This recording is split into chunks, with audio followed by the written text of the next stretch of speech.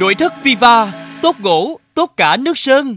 Tủ rượu cánh kính đẹp gỗ MDF phủ melamin. Đặc điểm nổi bật của mẫu tủ rượu cánh kính. Phong cách châu Âu hiện đại, thiết kế cánh kính đi đầu xu hướng. Kiểu dáng sang trọng, được cách tấn rất bắt mắt. Chất liệu gỗ công nghiệp MDF lõi xanh chống ẩm dày 17 ly rất chắc và bền bỉ.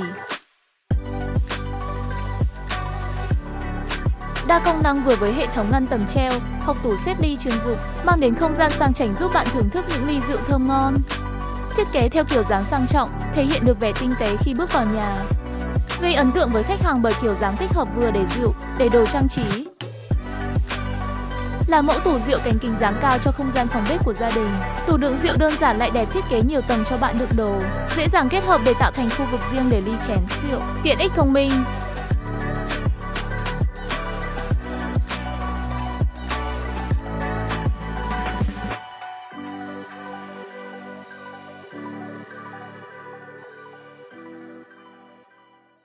Nếu bạn đang có nhu cầu mua sản phẩm hãy liên hệ nội thất Viva qua hotline 0977118799 và 0933118799.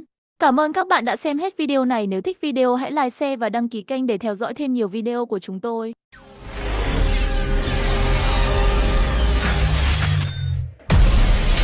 Nội thất Viva, tốt gỗ, tốt cả nước sơn. Số 1, 160C đường Trường Chinh, phường 12, quận Tân Bình, thành phố Hồ Chí Minh Showroom 2, 606 Nguyễn Văn Quá, phường Đông Hưng Thuận, quận 12, thành phố Hồ Chí Minh. Hotline 0977 118 799 0933 118 799. Sự hài lòng của quý khách là niềm hạnh phúc của chúng tôi.